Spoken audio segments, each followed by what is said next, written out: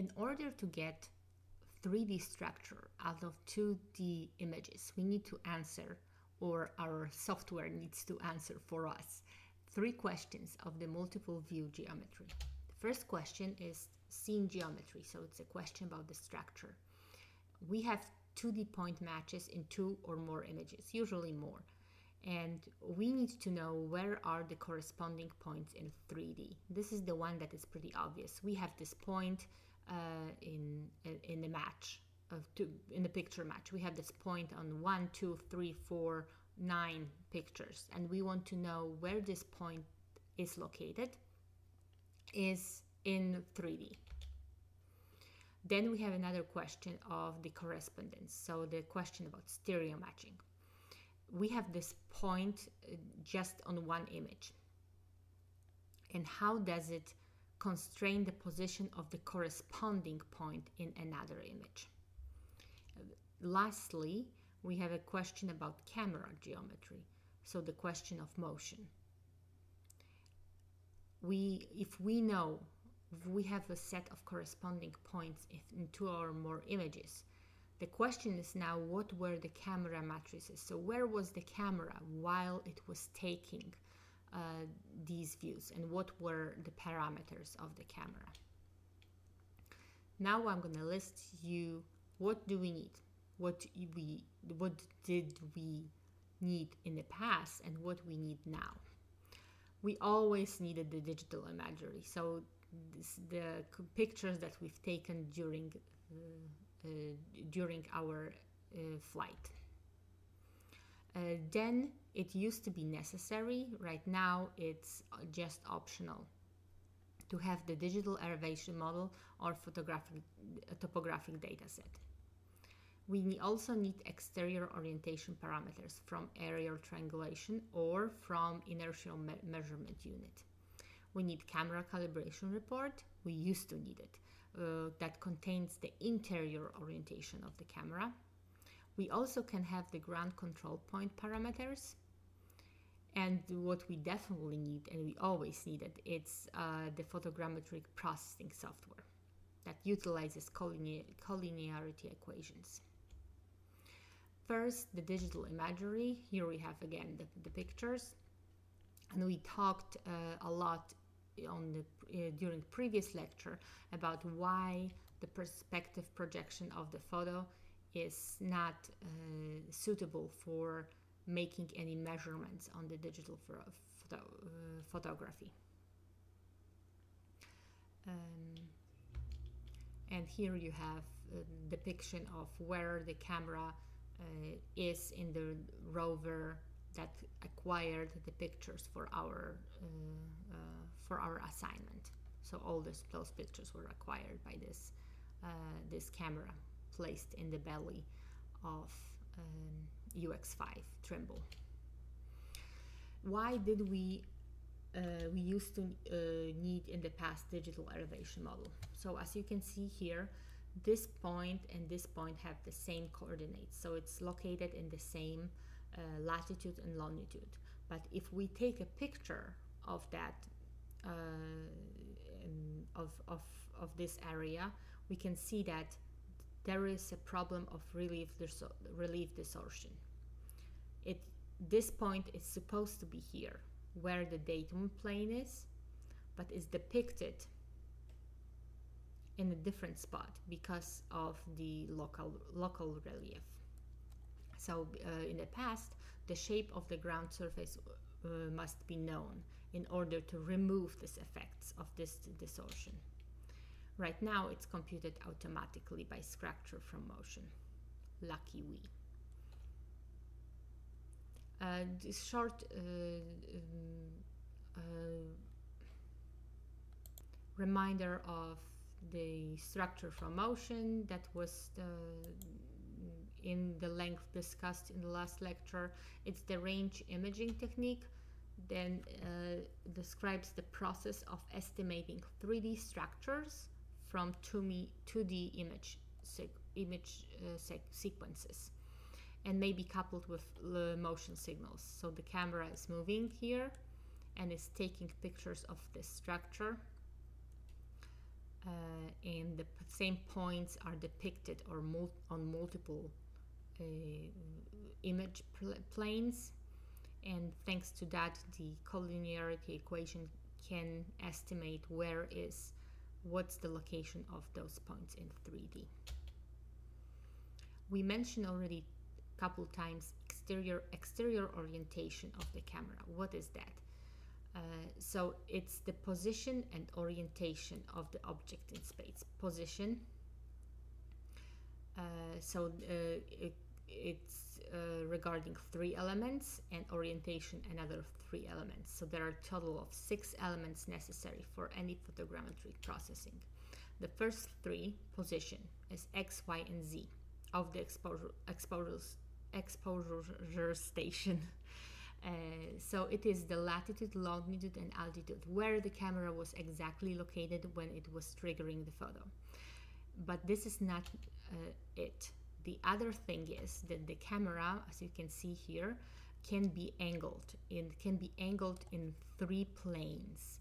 Uh, it, therefore, we have three angles that can be called omega, phi, and kappa, or yaw, pitch, and roll. And uh, you can see here uh, what are those angles. If the UAS flies straight, flies this direction, it can pitch the nose. So in this direction, it can move a little bit, and then the pitch angle will change from zero to some other uh, value.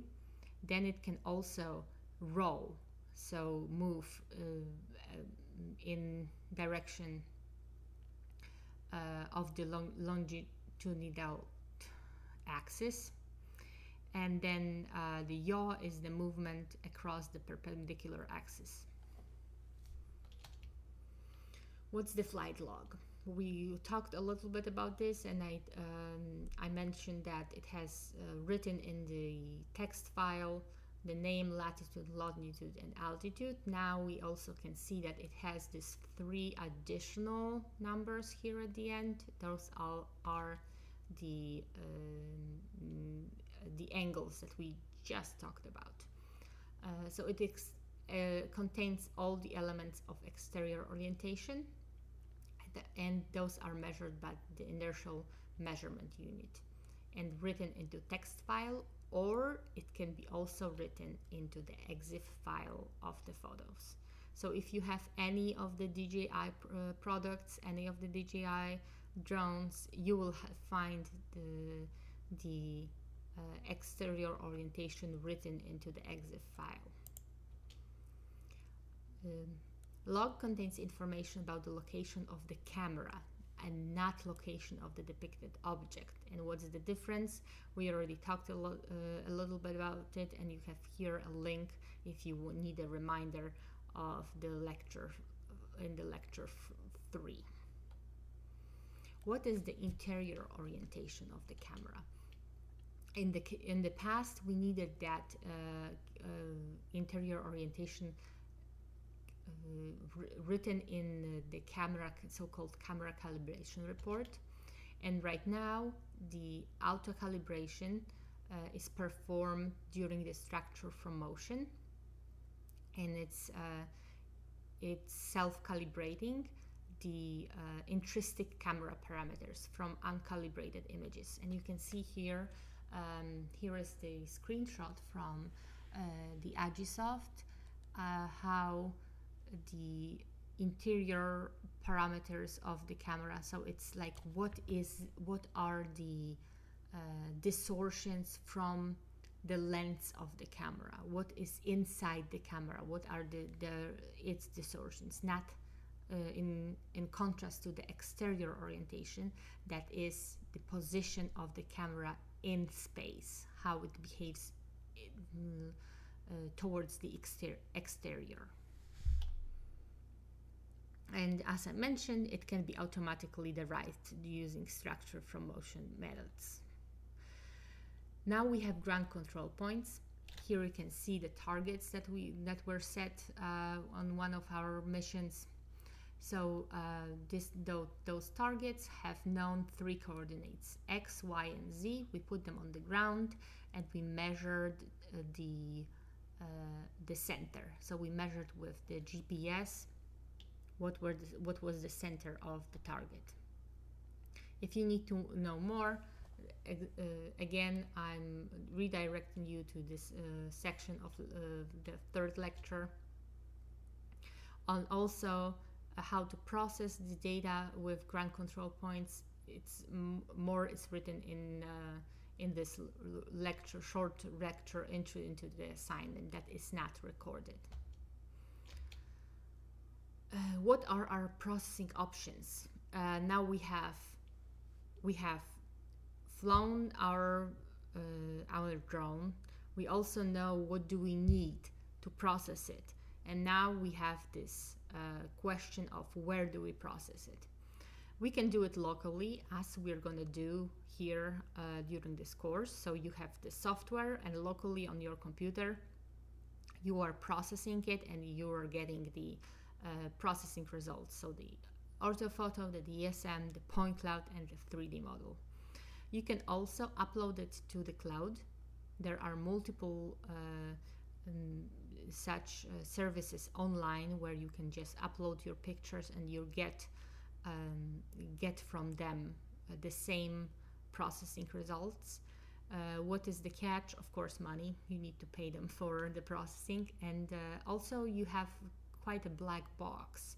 You just um, upload their them uh, your uh, your pictures, and you have no input. You have no uh, usually very little of how is it processed, what are the parameters during processing, and when there is something wrong in, in the processing outputs, you don't know where it came from. Uh, there is also an option of outsourcing. So, for example, you can hire a professional uh, company. Uh, here in Raleigh, we have multiple who would do it for you. Um, and then in this case, you have um, you have more of an input and more of the control of the process. And what to choose? So everything boils down to money and time. Uh, if you have, uh, what's your starting budget and, and equipment? If you already have the software, you have access, you have knowledge, and you fly frequently, maybe it's better for you to have something that is permanent and do it yourself.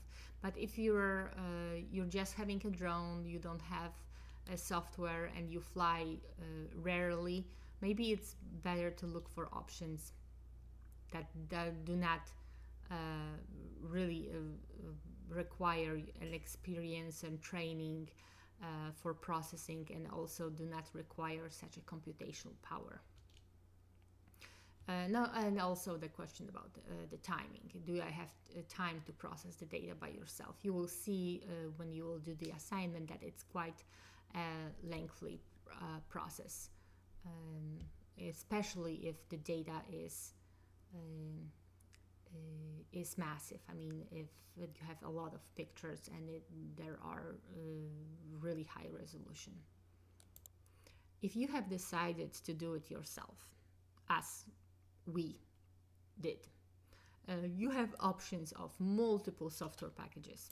What we're going to be using is Agisoft Metashape. You can I linked here uh, the um, uh, websites for uh, multiple uh, processing uh, software packages. There is very very famous Pix4D. It's it has the same basic capabilities as Agisoft Metashape. It has different business model, um, I would say, different pricing options, and also a little bit different uh, interface. But uh, it uh, it uses the same equations in the background. Of course, we don't know it; it's a black box. It's not an open source, but comp- compared comparing the results of the uh, processing from Agisoft Metashape and from Pix4D, they're very much comparable, comparable, and we're going to talk about it on the later lecture uh, when I will show you uh, data processed in this the same data processed in these three environments. So in Agisoft, in Pix4D, and in Trimble Business Center. You also have Drone2Map that is uh, done by Esri, and I know a lot of you use Esri products on daily basis, so the, they also have an additional, hmm, I would say, a patch or additional module for their uh, for the drone processing.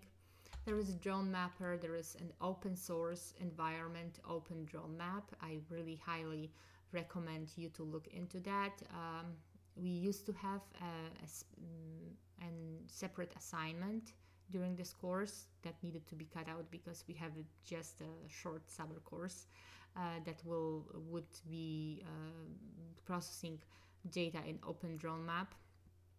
Uh, so uh, I encourage you to take a look at what you can do for free because it's totally open source. You can contribute to that and uh, you can process your data absolutely for free.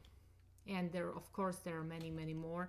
There is, um, there are um, uh, many solutions that will be a bundle of. If you buy a drone, you buy also a software that uh, that uh, um, enables you to process the data. So some of the companies have both components done.